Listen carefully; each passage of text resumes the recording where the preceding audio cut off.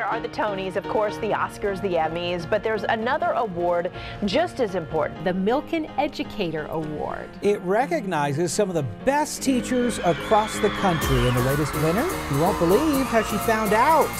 The educator doesn't even know she was nominated. They scour 100,000 schools, 3 million teachers, and they found this teacher right here.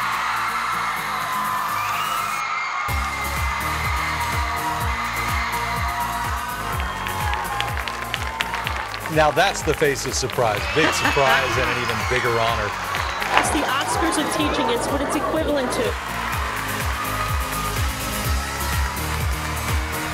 The Milken Educator Award provides public recognition and a $25,000 check to teachers, principals, and specialists who demonstrate excellence in education. We are looking for individuals who are early to mid-career, who have distinguished themselves but have the potential to do so much more. By investing in educators and investing in education, we're really investing in the child.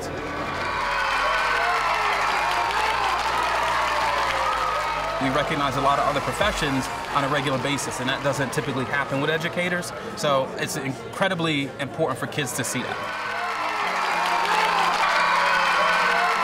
I feel like I'm representing teachers that do hard work every day and that, you know, don't get recognition, and, and this, this is for them. The Milken Educator Award goes to...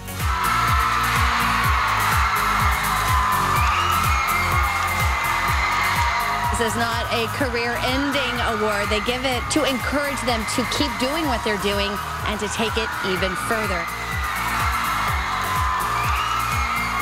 Now I have opportunities to really make an incredible difference on a larger scale. Education is the key. Education is the doorway, and the future belongs to the educated. The future belongs to the educated.